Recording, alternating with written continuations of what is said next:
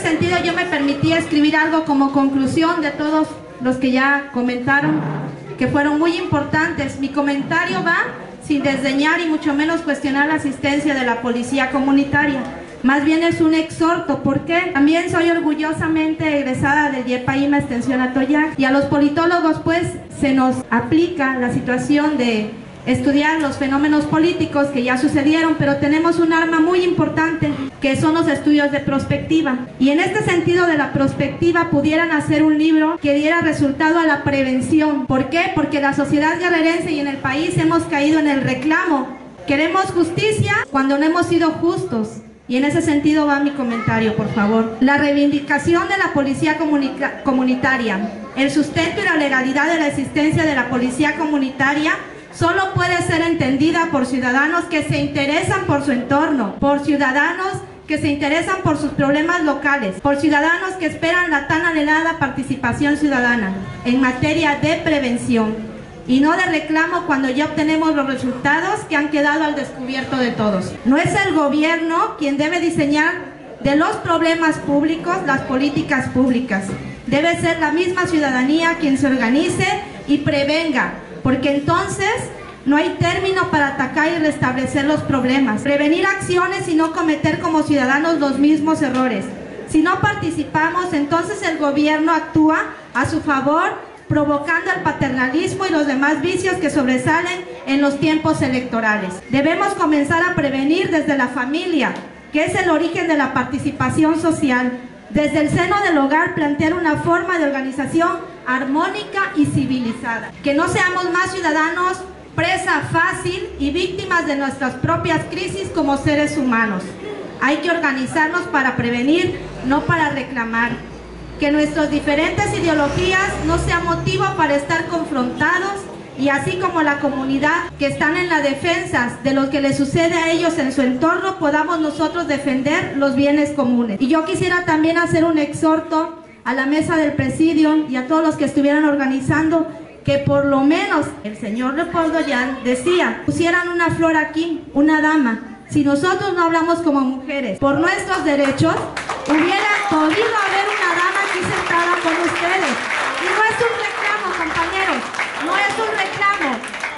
Nuestra cultura la que nos ha llevado a esto. Por eso yo agradezco que nos hayan invitado a muchas mujeres que están aquí al frente y que por lo menos una hubiera podido siquiera como invitada estar aquí al momento de llegar y cubrir la cuota de género, pero ya no vamos a estar compañeras para cubrir cuota de género, sino para nosotros como pilares de familia, también desde ahí decir que la sociedad, si se ha desgastado tanto es porque no hemos estado pendientes de nuestros hijos, de nuestras familias y de los intereses que nos corresponden a todos. Muchas gracias.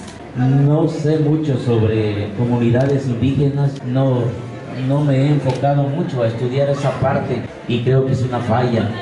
Y creo que muchos de mis paisanos atoyaquenses también cojean del mismo pie, como que no nos ha interesado mucho. Por eso lo de Nestora, yo decía que se decía Nestora, este, pues sí sabemos por las noticias, una lideresa, etcétera, pero no, no hemos profundizado. Por eso agradezco la invitación que se me hizo a esta presentación.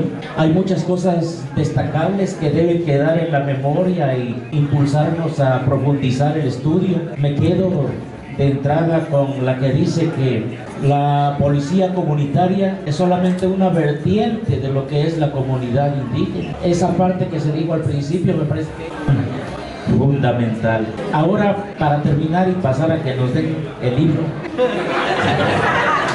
le preguntaría al director del instituto la diferencia principal y fundamental que se da entre las policías comunitarias de Guerrero y las autodefensas de Michoacán. ¿Cuál es? Pues yo creo que este público está muy ansioso de aguantarse toda la tarde y nosotros también. Eh, creo que es interesante la participación del maestro, se centró en lo que tenía que decir. Creo que es meritorio señalar en primer lugar la diferencia que existe entre policías comunitarias y policías ciudadanas y policías o llamadas autodefensas. Son distintas. Las policías comunitarias se organizan básicamente con una normativa internacional y local, más los usos y costumbres de, los pueblos originarios. Ahí está. Las llamadas policías ciudadanas, como el caso de Ocotito, ahí no hay pueblos indígenas, ni el territorio originario. ¿Cuál es el asunto? Pero tienen el mismo problema de la inseguridad, el narcotráfico, el robo, el crimen, el asalto, la violación, etcétera, etcétera. Tienen el mismo problema. Lo que están haciendo los integrantes de las policías ciudadanas es retomar la experiencia organizativa de los pueblos originarios. ¿Cuál es la CRAC? La policía comunitaria. Están aprendiendo, qué bueno que lo están haciendo, pero aquí hay una, un asunto que no me compete a mí resolver ese asunto. Serán los legisladores, los que conducen el gobierno, de cómo darle un estatus legal a las llamadas policías ciudadanas, porque ellas no lo tienen. Tienen el estatus legal y legitimidad las policías comunitarias. Las llamadas autodefensas es otra cosa. Miren, hay un problema muy delicado que se puede presentar. La policía comunitaria lo decide la comunidad, tú, tú, nosotros, se proponen, participan, es la comunidad que decide. Si hay un error, hay una falta, por ese integrante la comunidad lo sustituye y pone otro lo sanciona, lo premia, no sé, según resultados. Ellos están sometidos a la voz de la comunidad.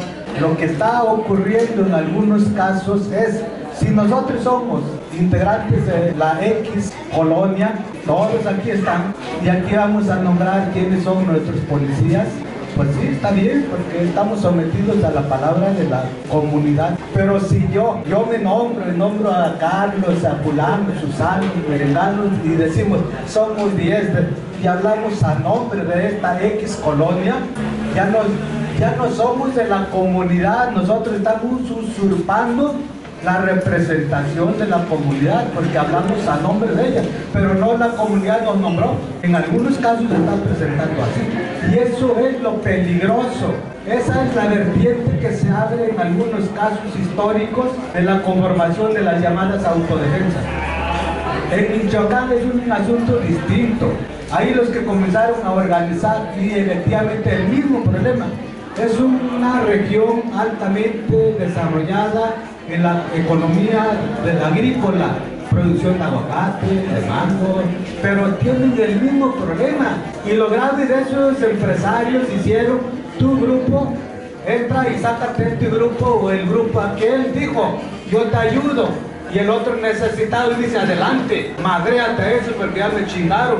Y después sacaron aquellos y llegaron estos y ahora el problema son con estos. Y ahora busco a otros, tú madréalos a esos.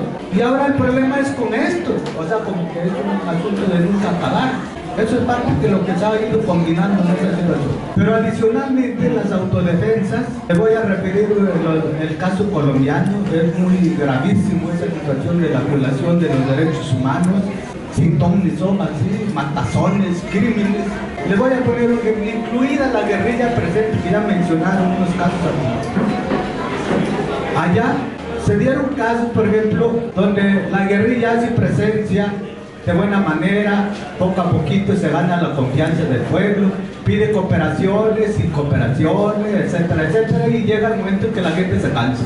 Y cuando ya la gente no quiere responder, la guerrilla en Colombia, no estoy diciendo en Colombia, comenzó a presionar a la comunidad, secuestraba a los integrantes de la comunidad para obligarlos a la comunidad que sigan aportando. Y llega el momento en que la comunidad se hartó de ellos y se organizan y expulsan a esos. Y además se comienza a meter otro nuevo grupo de los llamados de las autodefensas que son formados por también los hacendados locales, nacionales, de mucha fuerza, son pues grupos personales o particulares, no son ni de la comunidad ni del gobierno. Entonces ellos tenían recursos para formar su propia guardia personal. Y entonces esos comenzaban a acercarse a los propios pueblos y lo que hicieron fue, el pueblo dijo, es que la guerrilla ya me está presionando demasiado y yo ya no quiero nada de ellos.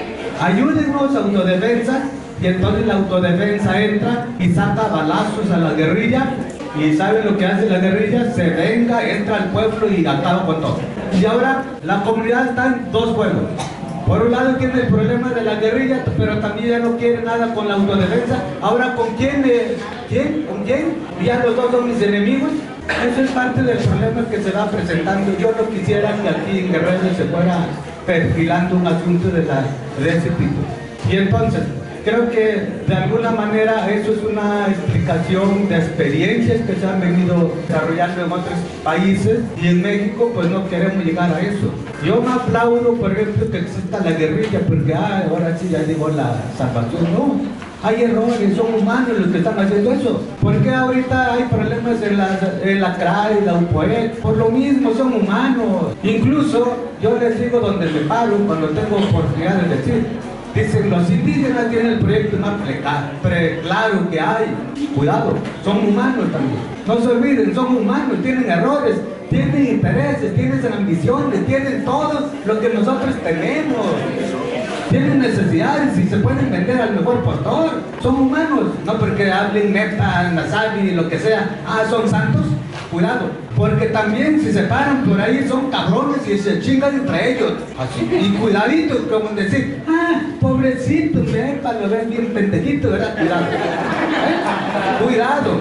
Porque son capaces que no sé lo que se imaginan. O sea, ¿por qué digo esto? Son humanos, ¿quiénes son los humanos? Simplemente porque es nepa, o es de la montaña, o de aquí. Somos humanos, tenemos las mismas condiciones. Entonces no endiosemos a nadie. Eso es lo que yo planteo de que no nos metamos en esos asuntos de esa forma.